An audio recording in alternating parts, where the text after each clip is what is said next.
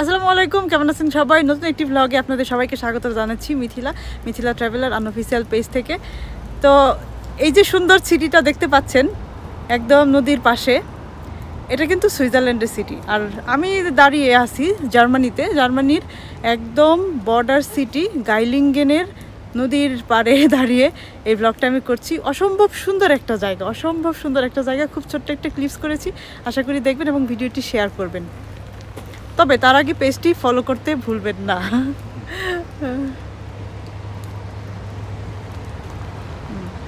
এই যে ব্রিজটা দেখতেছেন, এটা কিন্তু আসলে কাঠের ব্রিজ যারা আমার আগের ব্লগগুলো দেখেছেন এই জায়গার আমার উইন্টার ভিউর উইন্টার ভিউর ভিডিও আছে বাট সামারে আমরা এই প্রথমবারই আসলাম। তো সামার ভিউ দেখে তো আমরা খুবই অবাক।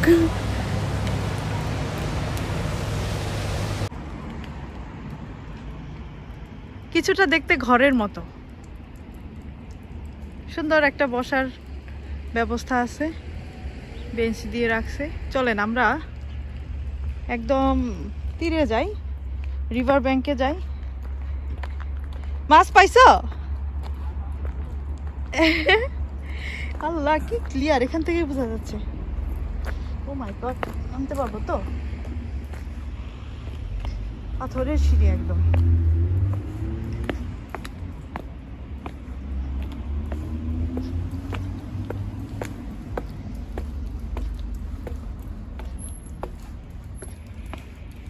একদম ক্রিস্টাল ক্লিয়ার ওয়াটার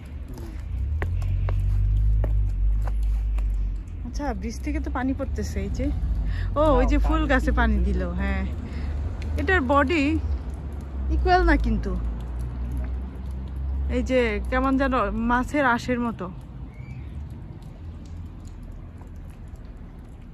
অনেক পাথর।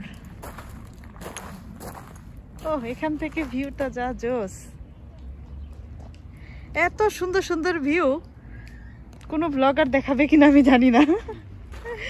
তো আপনারা যারা দেখছেন প্লিজ একটু শেয়ার করে অন্যদের দেখারও সুযোগ দিবেন। সুইজারল্যান্ড বলে কথা। আর এখান থেকে দেখুন যে কাঠের প্লিয়ার মানে এই পিলারগুলো কত শক্ত স্ট্রং আমার মনে হয় এই যে বিভিন্ন সময় যে রেনোভেশন করছে না, এই যে পিলারগুলো অ্যাড করছে। তাই না? এই মাছ আছে তো। ওই যে। দেখেন তো দেখা যায় কি কিনা হ্যাঁ।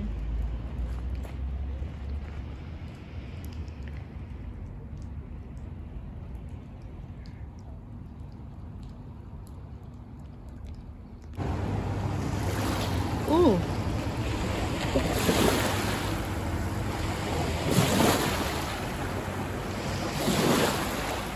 এই ব্রিজটা দিয়েই আসলে দুইটা দেশের কানেকশন করা হয়েছে। ব্রিজটা বারোশো সালে তৈরি।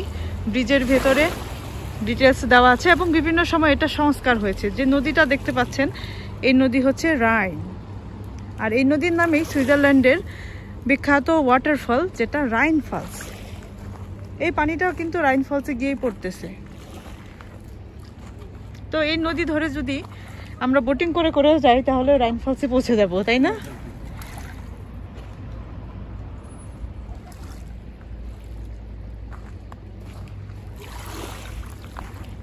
কি পরিষ্কার, দেখুন। কি পরিষ্কার। আমার মনে হয় পানির গভীরতা এত বেশি না। আর গরম হওয়ার কারণে প্রচুর মানুষ সুইমিং করতেছে। ঠিক ব্রিজের নিচে না, এই এই সব জায়গায় লোকাল পিপলরা সুইমিং করতেছে, ছোট ছোট বোট নিয়ে বোটিং করতেছে। Oh my god big fish ওই যে দেখো, বড়! আমি কিন্তু ঠিকই দেখে ফেলেছি যদিও এটা ক্যামেরায় আসার কথা না। কারণ এটা একদম শ্যাওলা কালারের মাছ। ওই যে আমাদের বাসার পাশে যে এইটা আছে না, লেকটা, ওখানে এই মাছটা খুব দেখা যায়। আরেকজন একদম কবি সাহিত্যিক হয়ে গেছে নদীর পাড়ে বসে। আমার জন্য কয়টা কবিতা লেখলা? বলব না। বলব না। নদীতে ভাসিয়ে দিব। এই দেখছেন দেখছেন? ইনসিকিউরিটিতে ভুগি আমি। এখান থেকে ভাসিয়ে দিলে একদম সুইজারল্যান্ডে গিয়ে পৌঁছাতে হবে। বিকেল বেলার নির্মল একটা বাতাস এখানে।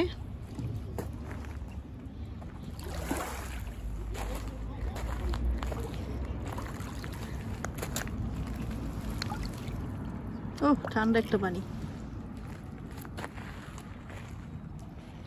জায়গাটা কিন্তু জোস।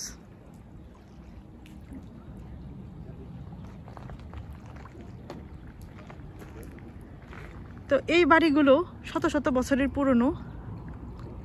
পুরনো জিনিস সংরক্ষণে আসলে ইউরোপ অনেক এগিয়ে। যারা রেগুলার আমাদের ব্লগ দেখেন, তারা দেখবেন যে আমরা বিভিন্ন কান্ট্রির অনেক পুরাতন স্থাপনার উপর অনেক অনেক ব্লগ করেছি। হাজার হাজার বছরের পুরনো, তারপরও কত সুন্দরভাবে সংরক্ষণ করেছে। যেগুলো দেখলে বোঝার উপায় নেই যেগুলো এত পুরনো। পুরনো জিনিসকে এরা আসলে ট্রেডিশন মনে করে। তো চমৎকার এই জায়গা থেকে আজকের ব্লগে আমরা বিদায় নিচ্ছি। ব্লগটি ভালো লাগে অবশ্যই অবশ্যই অবশ্যই পেজটা ফলো করবেন। সবাই অনেক অনেক অনেক ভালো থাকবেন। দেখা হচ্ছে নেক্সট ব্লগে আল্লাহ। হাফেজ।